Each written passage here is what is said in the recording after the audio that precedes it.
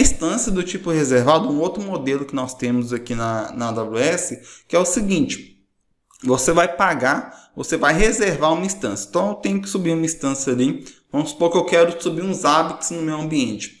E esses Zabbix, ele vai rodar por pelo menos um ano, porque eu estou monitorando ali de forma consecutiva, é, frequente no meu ambiente, né? Então essa máquina ali do, dos Zabbix vai ficar de forma contínua no meu ambiente. E aí qual que é a sacada aqui, né? Você reserva, você compra aquela máquina e paga adiantado da, da AWS, da mesma forma do Save.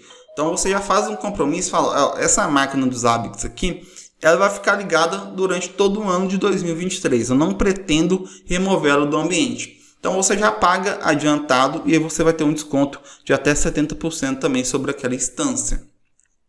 Também é uma boa economia. Mas, da mesma forma do Save, se você chegar no meio, no segundo semestre, para não quero utilizar mais os ABICs, eu vou remover essa instância. Então você é, vai ter um prejuízo daquela instância porque você já falou que a AWS fez um compromisso de pagamento.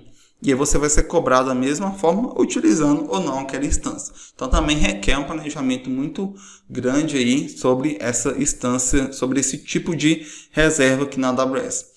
Se você não tiver esse planejamento, faça sob demanda mesmo. Contrata ali a, a, máquina sob demanda, que é melhor você pagar um pouco mais, mas não ter prejuízo. Por quê? Se você contrata uma instância na AWS e faz um compromisso de um saving plans ou de uma reserva durante um ano, você tem que utilizar aquela instância durante o ano, senão você, a empresa vai ficar no prejuízo e vai pagar por aquilo ali.